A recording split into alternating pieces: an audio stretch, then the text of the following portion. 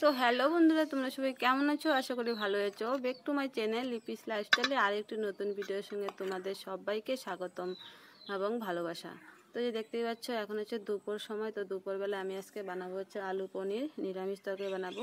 তো যে দেখো, এখানে হচ্ছে টমেটো হচ্ছে আমি মানে বেটে রেখেছি। আর হচ্ছে লঙ্কা, আদা, এগুলো হচ্ছে বাটা হয়নি, এগুলো বাটবো।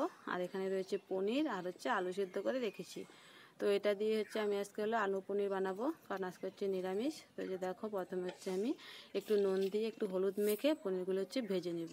তো যে দেখো, ভালো করে এখন একটু মিশিয়ে নিব নুন হলুদটা। তো পনির খুবই আস্তে আস্তে মানে মাখতে হয়, নয়তো ভেঙে যায়। জানোই তো তোমরা, পনিরটা খুবই নরম একটা জিনিস।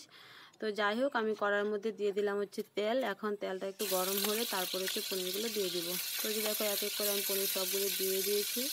এখন হচ্ছে একটু মানে ভেজে নিব। কারণ বেশি একটা ভাজবো না, বেশি ভাজলে পনির আবার শক্ত হয়ে যায়। তো দেখো, হালকা একটু ভেজে নেব। তো আমার মানে ভাজা প্রায় মানে শেষের দিকে তো আর একটু লাল লাল হলে তারপরে হচ্ছে আমি নেমে নেব। তো এই দেখো বন্ধুরা, আমার ফাইনালি ভাজা হয়ে গেছে। এখন হচ্ছে আমি নামিয়ে নিচ্ছি পনিরগুলো।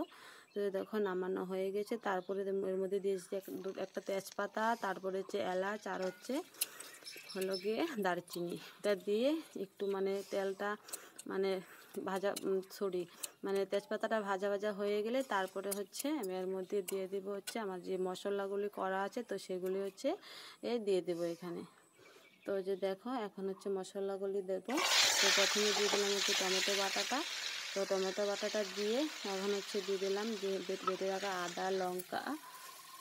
তো তারপরে দিয়ে দিলাম একটু মানে স্বাদ মতো লবণ। তারপরে হচ্ছে দিয়ে দিলাম হচ্ছে হলুদ।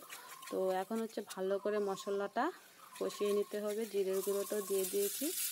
তো কষানো হয়ে গেলে তারপরে এর মধ্যে দিয়ে দেবো হচ্ছে আলুগুলি। তো যে দেখো, আমার ভালো করে মশলা কষানো হয়ে গিয়েছে।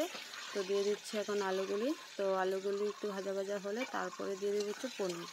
তো পনির টনির সব কিছু দেওয়া হয়েও গিয়েছে, তো এখন একটু ভালো করে নাড়াচাড়া করে তারপর হচ্ছে জল দিয়ে দিলাম। তো যে দেখো ফাইনালি আমার জল টল দেওয়া হয়েও গেছে, এখন হচ্ছে মানে ঝোলটা জাল ঝোলটা জাল হলে তো আমার পনির রান্না হয়ে যাবে। তো যে দেখো বন্ধুরা ফাইনালি আমার পনির রান্না কমপ্লিট হয়েও গিয়েছে। আর দেখো তরকারিটা কি সুন্দর কালার এসেছে। তো আজকে আমি পনির তরকারিটা আমি এই মডেলে বানালাম। তো আগেও আমি আবার খেয়েছিলাম। হলো কাঁঠাল দিয়ে। তো যে দেখো, এখন আর একটা সবজি বসিয়ে দিচ্ছি। তো সেটাও রান্না করে নেব। রান্না রান্না হয়ে গেলে তারপরে হচ্ছে তোমাদের দাদাদেরকে খেতে দেবো। আর এখন যে মানে রৌদ্র ওঠে না, প্রচণ্ড গরম। রান্নাঘরে থাকাই যায় না। আর এদিকে তো হচ্ছে আমাদের হচ্ছে টিনের রান্নাঘর। তো রান্না প্রচণ্ড গরম লাগে। তো কি করব? খেতে হলে তো রান্না করতেই হবে। মেয়ে ঘুমোচ্ছে। তোমাদের দাদা ঘরে চলে এসেছে। তো বন্ধুরা, আমার ফাইনালি রান্নাবান্না কমপ্লিট। এখন একটু মানে আয়নার সামনে এসে মুখটা দেখছি মানে ঘেমে কি অবস্থা হয়ে গিয়েছে। আবার মাঠে আমার লাড়া গিয়ে তো সেটাও আনতে হবে যে কী রৌদ্র। তো এখন হচ্ছে আমি যাব। তো এই যে দেখো বন্ধুরা কী রৌদ্র। এখন হচ্ছে বাজে হলো দুটো। তো আমি চলে এসেছি ব্ল্যাঙ্কেট নিয়ে। তো বন্ধুরা যাই হোক, এসেছি ব্ল্যাঙ্কেটটা এনে তারপরে একটু রেস্ট করতে হবে, কারণ এত গরম মানে কি মতো না। এটা ধুয়েছিলাম সকালবেলা।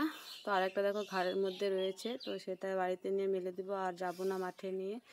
ভালোই লাগছে না এত গরম। তো যাই হোক, এগুলো রেখে টেকে দিয়ে খাওয়া দাওয়া করে নিয়েছি। তো খাওয়া দাওয়া হয়ে গেলে যে দেখো মেয়ের কাণ্ড শাড়িটা আমার মানে বের করা ছিল।